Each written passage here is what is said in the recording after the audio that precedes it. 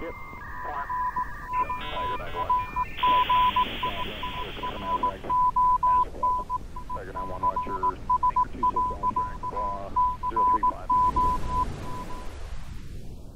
I need to set up the new source meter on the bench. Let's get to work.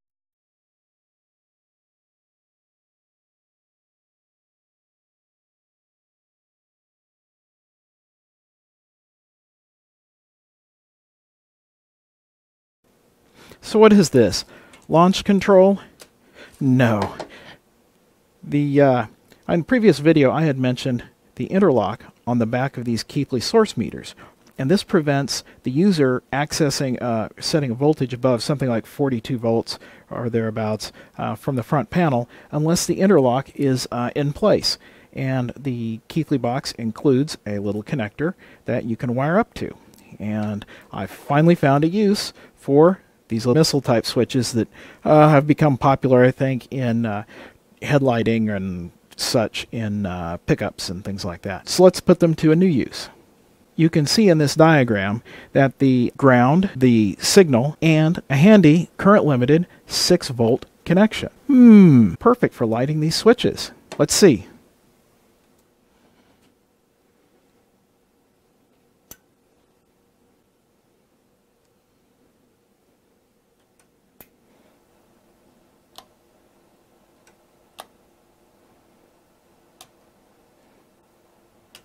There we go.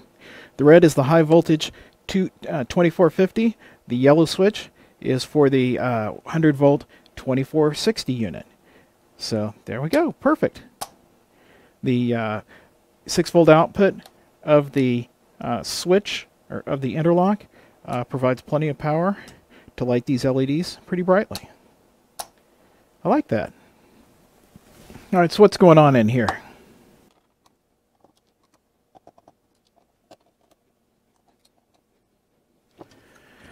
Just a couple of uh, basic vehicle automotive lighting switches. Uh, standard 12 volt LED uh, in this is what these are designed for as a standard, you know, uh, automotive 12 or 13.8 volts.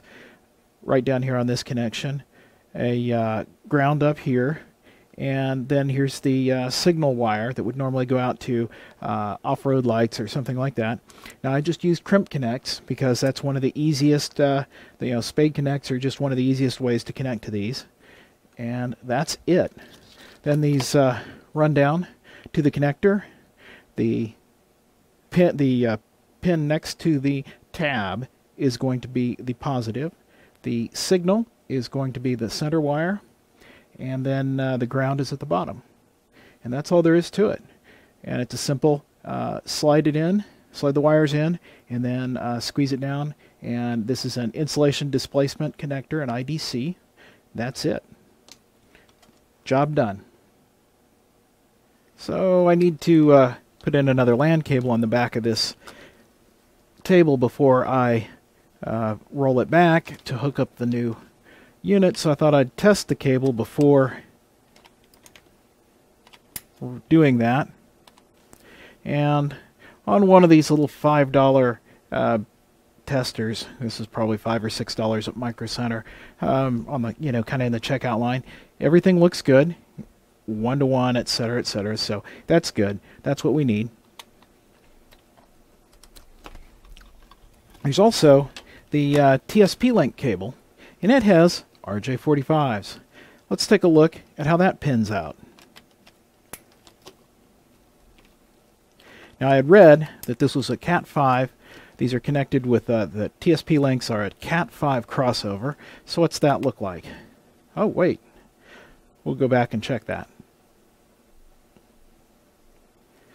So here we start out with 1 crossed over to 3, 2 to 6, 3 to 1, and 6 to 2. So they're crossing over the 1 3 and the 2 6 pairs, which would be, as I recall, a standard Cat 5 crossover. So that's good to know. Uh, now, let's get it all put back in place, uh, connected, and wheel that big bench back into place.